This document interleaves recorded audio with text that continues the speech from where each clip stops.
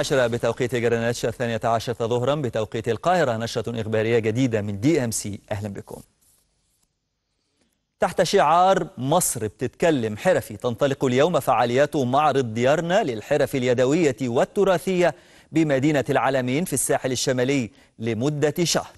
وقالت وزارة التضامن الاجتماعي إن المعرض يقام بمشاركة 250 عارضا على ثلاث مراحل.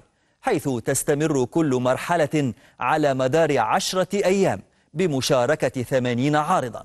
مشيرة إلى أن المعروضات تتضمن المنتجات الحرفية اليدوية والتراثية من المنسوجات والمفروشات الأرابيسك والإكسسوارات المنزلية والكوريشيه والنحاس والفضة. أدى طلاب الثانوية العامة الشعب الأدبية امتحان مادة التاريخ بإجمالي 265,353 طالبا داخل 2200 لجنة على مستوى الجمهورية وذلك وسط إجراءات احترازية مشددة.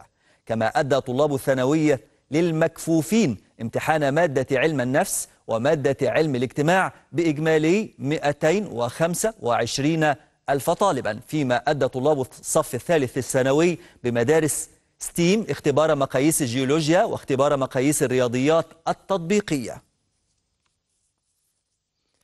أكد وزير الزراعة السيد القصير سعي الدولة لتطوير أداء القطاع السمكي في مصر والاستفادة من الميزة النسبية للمسطحات المائية في تلبية احتياجات البلاد من الأسماك وزيادة الصادرات المصرية.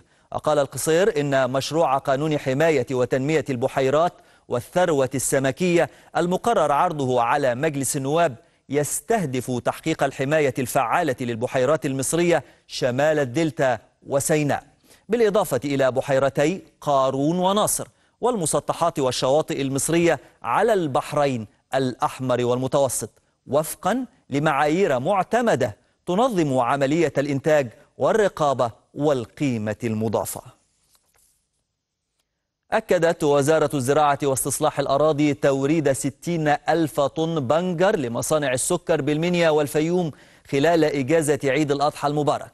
وذكر تقرير لوزارة الزراعة أنه تم حصاد 3500 فدان من محصول البنجر من إجمالي 4000 فدان. كان لمشروع غرب المنيا النصيب الأكبر منها.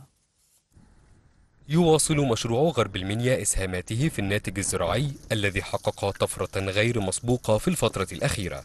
المشروع الذي تبلغ مساحته نحو 20 ألف فدان وتستخدم في زراعته أحدث أساليب الري سواء بالرش أو التنقيط كانت له النسبة الأكبر في عمليات توريد محصول البنجر وذلك من خلال توريد 60 ألف طن بنجر لمصانع السكر بالمنيا والفيوم خلال إجازة عيد الأضحى المبارك فقط. وأشاد مسؤول وزارة الزراعة بجودة منتجات مشروع غرب المنيا حيث بلغت نسبة متوسط السكر في البنجر حوالي 22% وهي نسبة متميزة وواعدة.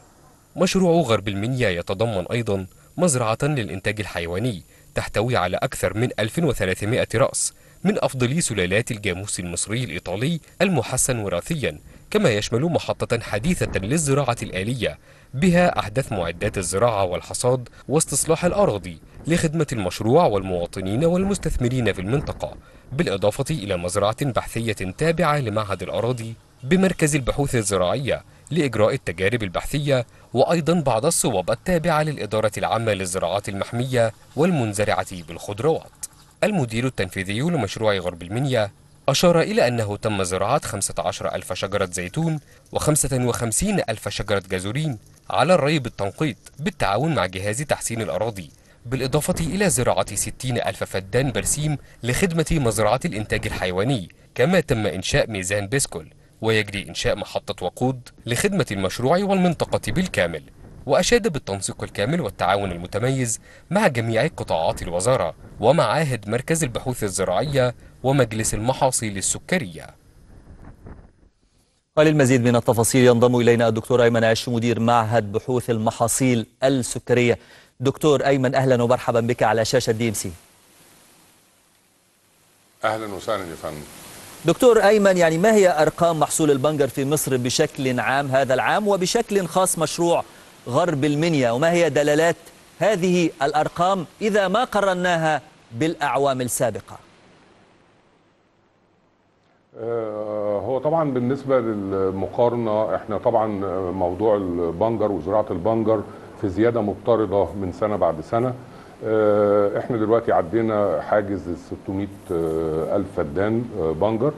آه، منهم حوالي آه، 4000 فدان هم اللي بيتزرعوا في آه، منطقة غرب المنيا. آه، دي طبعا زي ما حضراتكم عارفين المنطقة دي منطقة حديثة الاستصلاح أرض جديدة خالص. آه، طبعا الإنتاجية فيها طبعا ما بتبقاش زايدة من أول سنة ولكن عندنا الزيادة المضطردة لأن الأرض بتبتدي يعني تدب فيها الحياة أكثر فبالتالي عندنا آه، يعني آه، مؤشرات إيجابية جدا نحو آه، زيادة الإنتاج والإنتاجية في غرب المنيا. نعم سؤالي عن المتوقع لمشروع غرب المنيا تحديدا خلال الأعوام السابقة إذا تحدثنا عن هذا المشروع باعتباره مشروع حديث نأمل أن يكون له آه، آثار ونتائج أكبر خلال الأعوام القادمة. آه، هو الحقيقة طبعا إحنا بنجر السكر منذ دخوله لمصر من في الثمانينات في أوائل الثمانينات كان تركيز الزراعة بتاعه موجود في منطقة الدلتا وشمال الدلتا. وبعدين آه، في خلال السنوات القليلة الماضية ابتدى يمتد الزراعة لحد ما وصلت لمحافظه المنيا.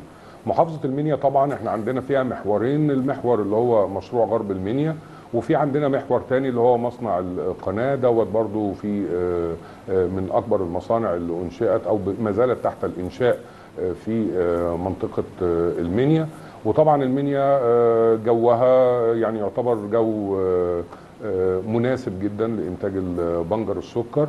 لأن طبعا إحنا عارفين إن بنجر السكر محصول أساسا أوروبي فإحنا ال ال ال ال الرينج بتاع درجات الحرارة والظروف البيئية بيتراوح من الشمال أقصى الشمال اللي هي شمال البحر المتوسط لحد ما بنوصل لمنطقة آه، المنيا. آه، فطبعا المتوقع إن الزيادة زي ما بقول لحضرتك الأرض الحديثة بتبقى المحصول بتاعها بيحصل له زيادة مضطردة سنة بعد سنة وطبعا دوت لأن ال- ال- ال- ال- التربة بتزداد خصوبتها وبالتالي بتأثر على الإنتاج الكمي والإنتاج النوعي في نفس الوقت. آه، للبنجر أو للمحاصيل الأخرى اللي مزروعة يعني. على مدار الأعوام ال- الماضية على مدار فترات طويلة كان محصول بنجر السكر من المحاصيل المربحة للفلاح المصري دكتور أيمن هل ما زال الأمر كما كان عليه في الماضي محصول عليه إقبال شديد من الفلاح المصري ورغبة في زراعته من أجل الحصول على الأموال بشكل أسرع وبشكل منتظم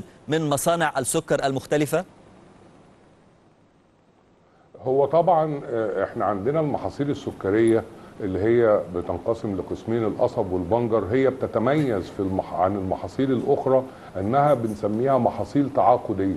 اذا فالفلاح لما بيزرع هو بايع المحصول بتاعه قبل ما بيزرعه لأنه صحيح. لصالح المصانع بتاعه الايه السكر. وبالتالي ما بيبقاش فيه مشاكل التسويق أو التلاعب في الأسعار أو وات يعني. آه، فطبعا دوت مدي للمحاصيل ديت ميزة نسبية كبيرة جدا عن المحاصيل الأخرى. الحاجة الثانية إن المشروع ال- ال- الزراعة عموما لما بتتعمل صح أو المزارع بيستخدم التوصيات الصحيحة لازم تكون مربحة. فاحنا عندنا في البنجر مثلا في عندنا مزارعين بتوصل متوسطات إنتاجهم لأرقام فوق الممتازة وفي مزارعين تانيين بيبقى أرقامهم أقل وأقل ودوت طبعا على حسب مجهود المزارع في العناية بال- بالزرعة بتاعته واتباع دايماً الإرشادات بنتكلم ال- بالنسبة برضه الزراعية للمسؤولين. الخاصة بوزارة الزراعة ومعاهد البحوث التوصيات. نعم ومنها معهد بحوث المحاصيل الزراعية. الدكتور أيمن عش مدير معهد بحوث المحاصيل السكرية. شكرا جزيلا لك.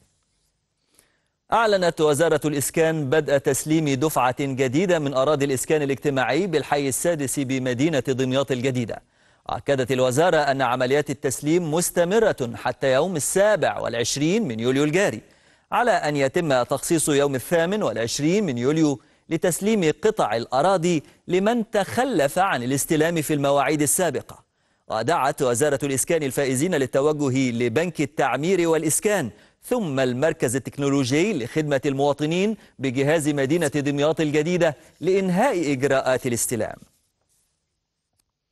أعلنت وزيرة الصحة والسكان هالة زايد أن هناك متابعة دقيقة من القيادة السياسية للوضع الوبائي الراهن في البلاد.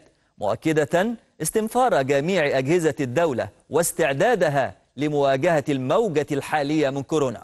وأكدت الوزيرة تحديث الضوابط والاشتراطات والإجراءات الصحية التي يتم تطبيقها بالحجر الصحي بمنافذ دخول البلاد تزامنا مع المستجدات الخاصة بفيروس كورونا. مشددة على المتابعة الدقيقة من قبل الدولة لما يحدث في العالم. من حيث الرصد والمحاذير وأساليب العلاج والوقاية. وفي نفس الوقت البحث العلمي وصولا للقاح آمن وفعال. أعلنت وزارة التعاون الدولي أن بنك التعمير الألماني أتاح 41 مليون يورو ضمن برنامج مبادلة الديون لصالح وزارة التعليم لتنفيذ مبادرة التعليم الفني الشامل في مصر. وأشارت إلى أن اتفاق التعليم الفني الشامل في مصر هو الأخير الذي يتم تمويله ضمن الشريحة الثانية من المرحلة الثانية لبرنامج مبادلة الديون بين مصر وألمانيا حيث تبلغ القيمة الإجمالية للمرحلة الثانية 80 مليون يورو يتم من خلالها تنفيذ ثلاثة مشروعات تنموية في عدة قطاعات من بينها التعليم الفني والمهني. أعلنت وزارة البيئة إنشاء الشبكة القومية لرصد ملوثات الصرف الصناعي على البيئة المائية حيث يتم إلزام جميع المنشآت التي تصرف على البيئة المائية برصد مكونات وملوثات البيئة دوريا. وأوضحت الوزارة أنه تم ربط أولى المنشآت الصناعية بالشبكة القومية وهي لإحدى الشركات التي تصرف على بحيرة مريوط حيث تم ربطها بقاعدة بيانات الوزارة. مؤكدة أنه سيتم تباعا استكمال كافة المنشآت التي تصرف على المجاري المائية لربطها بالشبكة القومية لرصد ملوثات الصرف الصناعي. استأنفت كل من البنوك العاملة بالسوق المصرية والبورصة نشاطها في مواعيدها الاعتيادية وذلك بعد العودة من عطلات عيد الأضحى المبارك. وفتحت البنوك أبوابها أمام الجمهور في تمام الساعة الثامنة والنصف صباحا وحتى الثالثة عصرا فيما بدأ عمل الموظفين اعتبارا من الثامنة صباحا وحتى الرابعة عصرا وسط تطبيق الإجراءات الاحترازية للوقاية من فيروس كورونا. أعلنت هيئة الأرصاد الجوية عن انخفاض طفيف في درجات الحرارة اليوم ليسود طقس حار رطب على القاهرة الكبرى والوجه البحري. مائل للحرارة ورطب على السواحل الشمالية. شديد الحرارة ورطب على جنوب سيناء وجنوب البلاد.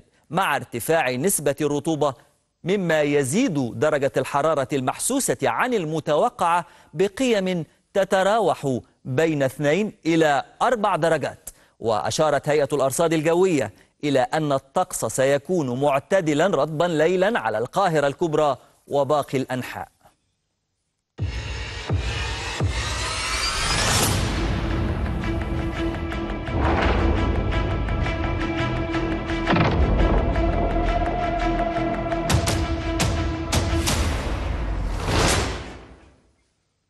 أعلنت السلطات السعودية جاهزية المسجد الحرام لاستقبال المعتمرين والمصلين لعودة العمرة بدءا من اليوم عبر الحجز من تطبيق اعتمرنا.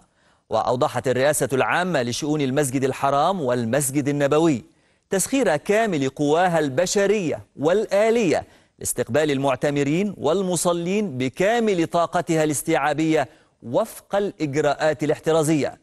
مشيرة إلى تطبيق جميع الإجراءات الاحترازية التي تضمن عدم التقارب بين المصلين خلال الدخول والخروج وخلال تأديتهم للعمرة والصلاة. ولمزيد من المتابعة ينضم إلينا عبر الهاتف الشيخ سعد بن جميل القرشي مستشار رئيس شؤون الحرمين الشريفين ومستشار اللجنة الوطنية للحج والعمرة بالسعودية. شيخ سعد أهلا ومرحبا بك على شاشة دي ام سي السلام عليكم ورحمة الله وبركاته. وعليكم السلام ورحمة الله. عليكم السلام ورحمة الله وبركاته شيخ سعد. جميع المشاهدين الكرام. أهلا بك. شيخ سعد يعني على مدار الشهور الماضية تحاول المملكة العربية السعودية أن تقوم بالمعادلة الصعبة وهي ألا تحرم أي من مسلمي العالم من هذه الرغبة الكبيرة في العمرة أو الحج وفي ذات التوقيت الحفاظ على صحة المسلمين الذين يتوافدون إليها من كل بقاع العالم. كيف استطاعت المملكة حتى الآن الحفاظ وعمل هذه المعادلة الصعبة؟ بسم الله الرحمن الرحيم والصلاة والسلام على رسول الله. في الحقيقة المملكة العربية السعودية لا تألو جهدا في عملية سلامة وحماية المعتمرين والزوار والحجاج أيضا في المشاعر المقدسة وفي مكة المكرمة وفي الحرمين. الشريفين. أعلنت وزارة الحج والعمرة عن فتح باب العمرة للمعتمرين من الداخل وأيضا أرسلت آلية المعتمرين من الخارج وسوف إن شاء الله يتم قدوم معتمري الداخل والخارج في خلال الأسبوعين القادمة للخارج وإن شاء الله في الداخل بدأت من اليوم في استلام طلبات أداء العمرة للمواطنين والمقيمين في المملكة العربية السعودية وذلك في ظل الاحترازات الصحية الكاملة في هذا الشأن والتي الحمد لله صارت لنا فيها من التجارب ومن الخبرة ما يكفي خلال العام الماضي بتطبيق جميع الاحترازات سواء من المعتمرين الذين أدوا في خلال الفترة الماضية أكثر من أربعة ملايين وخمسمائة ألف معتمر وأيضا حجاج بيت الله الحرام في هذا العام التي حوالي الستين ألف معتمر. وكانت ولله المنة والحمد جميع الأمور على ما يرام ولم تتم تسجيل أي إصابة بكورونا في خلال هذه الفترة ولله الحمد. والآن بدأنا تدريجيا كما بدأنا في الحج تدريجيا.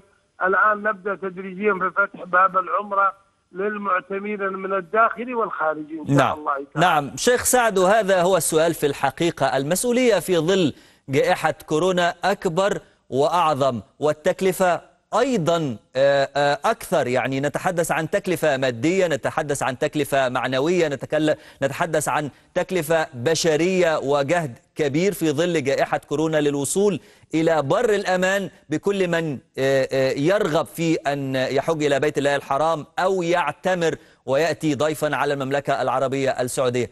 حجم هذه التكلفة بشكل عام التي تتحملها المملكة خلال جائحة كورونا.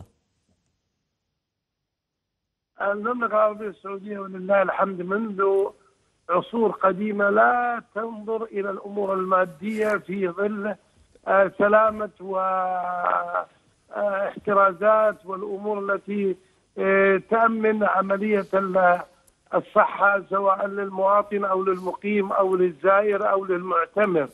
فهذه هي الدرجة الأولى لدى المملكة العربية السعودية أن تحافظ على المعتمر لا تألو جهدا في سبيل إذا تنفق الغالي والنفيس في سبيل هذه الأمور التي ولله المنة والحمد تعود بالنفع على المسلمين وهي ولله الحمد هذه الأمر لا ترغب في أن تحقق مكاسب مادية سواء من الحج أو العمرة أو الزيارة نعم. من أراد القدوم إلى هذه البلاد فأهلا وسهلا به وعلى الرحب والسعة بدون النظر للأمور المادية وما هي تكلفتها. نعم الشيخ سعد بن جميل القرشي مستشار رئيس شؤون الحرمين الشريفين ومستشار اللجنة الوطنية للحج والعمرة بالسعودية شكرا جزيلا لك.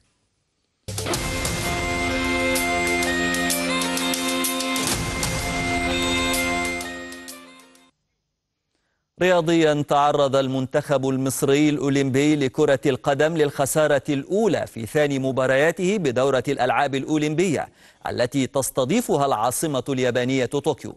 سجل منتخب الأرجنتين هدف المباراة الوحيد في الشوط الثاني للمباراة ليحرز بذلك نقطته الأولى بعدما تعرض للخسارة في مباراته الأولى أمام أستراليا. وبذلك يتوقف رصيد منتخب مصر الأولمبي عند نقطة واحدة حصل عليها من تعادل سلبي أمام إسبانيا في المباراة الافتتاحية. ويلتقي منتخب مصر في مباراته الثالثة والأخيرة في دور المجموعات أمام نظيره الأسترالي الأربعاء المقبل. حقق السباح التونسي الشاب أحمد أيوب الحفناوي إنجازا رائعا بإحرازه ذهبية سباق 400 متر حرة صباح اليوم في أولمبياد طوكيو. وسجل الحفناوي صاحب الثمانية عشر عاما زمنا قدره ثلاث دقائق وثلاث وأربعين ثانية وستة وثلاثين جزءا من الثانية وهو ثالث أفضل توقيت هذه السنة. متقدما على الأسترالي جاك ماكلافين بفارق 16 جزءا من الثانية والأمريكي كيران سميث بفارق 58 جزءا من الثانية. محليا يلتقي الأهلي مع نظيره الإنتاج الحربي اليوم في تمام السابعة مساء على استاد السلام في اللقاء المؤجل من الجولة الرابعة والعشرين من مسابقة الدوري الممتاز. ويسعى الأهلي بقيادة مدربه الجنوب إفريقي بيتسو موسيماني لمصالحة جماهيره بتحقيق الفوز في مباراة اليوم بعد التعادل واحد واحد أمام البنك الأهلي في الجولة الماضية من بطولة الدوري. في المقابل يطمح الإنتاج الحربي بقيادة مديره الفني أحمد كشري في تحقيق نتيجة إيجابية أمام الأهلي للتمسك بحلم البقاء في الدوري الممتاز الموسم المقبل. إلى هنا نصل إلى ختام النشرة. دمتم في أمان الله.